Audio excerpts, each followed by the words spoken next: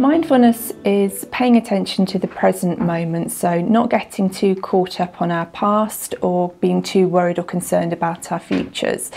It's about taking the time to appreciate life in all aspects, so listening to the birds, for example, or feeling the sun on your face, and taking the time out to uh, do those things which quite often we forget to do in the daily stresses of life.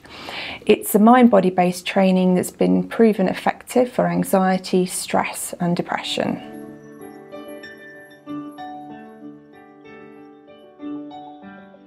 The pressures of modern day living tend to affect us all, and there's about a quarter of a million people that are off work on a daily basis due to stress related illnesses, and about 75% um, of work related illnesses are due to stress.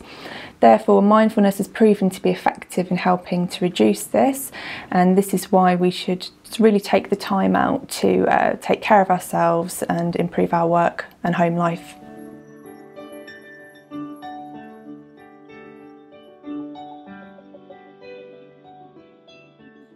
Some of the simple things that you can do in your everyday life to reduce your stress and anxiety and help improve your overall well-being would be to really take some time out, uh, five minutes a day, just to give yourself a little space to, to relax or to go to somewhere that you enjoy, even if that's just stepping outside into your garden.